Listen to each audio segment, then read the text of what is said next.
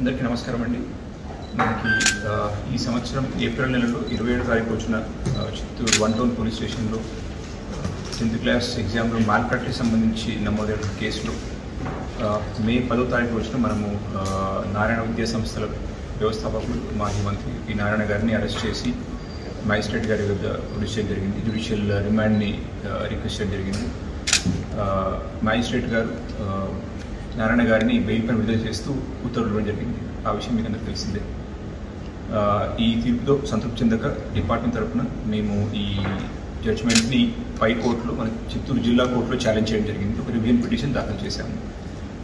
దానిపైన మన తరఫున పోలీస్ తరఫున ప్రాసిక్యూషన్ తరఫున గౌరవ ఏఏజీ గారు పొన్నూరు సుధాకర్ రెడ్డి గారు వాదన వినిపించడం జరిగింది.